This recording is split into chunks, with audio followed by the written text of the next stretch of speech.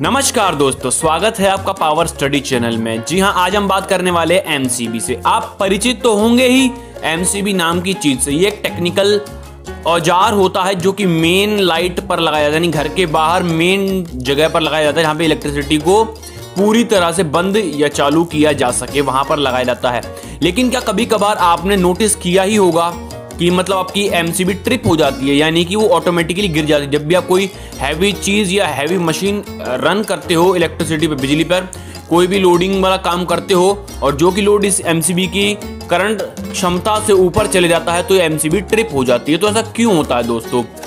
देखिए दोस्तों, क्या होता है कि एमसीबी के अंदर ना एक वायर ही होती हैं, जो कि करंट को पास कराती हैं। तो इसके अंदर एक लिमिट की वायर लगाई जाती है कि जैसे मान कर चलिए कि 6 एम्पेयर का करंट है या फिर 12 एम्पियर का करंट है या कितने भी एम्पियर का करंट आप अगर निकाल रहे हो तो उतने एम्पियर का करंट ही निकल जाएगा। लेकिन अगर उससे ज़्यादा करंट आपने इस्तेमाल किया तो ये वायर जल जाएगी। एज अ रेजिस्टेंस काम करती है वो वायर। तो एक लिमिट तक ही वो करंट को सप्लाई करती है और अगर उस लिमिट के ऊपर वो करंट पहुँच जाता है तो ऑटोमेटिकली ये एमसीबी ट्रिप हो जाती है। यानी कि हीट मारकर वो एमसीबी ऑफ़ हो जाती है। तो आपको ये पता लग जाता है कि कोई ना कोई हैवी चीज़ है या फिर कहीं ना कहीं से कोई अर्थिंग ऐसी है जो कि करंट चूस रही है बहुत ज़्यादा, जिसकी वजह से ये एमसीबी ट्रिप हुई है।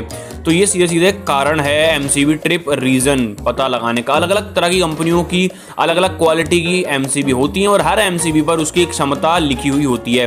तो अब जिस बंदे को, यानी जिस इंसान को ये नॉलेजेबल वीडियो नॉलेज प्रोवाइड करा पाई है तो वो इंसान इस वीडियो को लाइक करने में एक मिनट भी ना लगाए और जाते जाते ये कमेंट करना है प्यारा सा और साथ में सब्सक्राइब करके बेल आइकन ज़रूर दबाना है क्योंकि घंटी दबाने का पैसा नहीं लगता दोस्तों, ना सब्सक्राइब करने का पैसा लगता ज़रूर सब्सक्राइब कीजिए बेल आइकन ज़रूर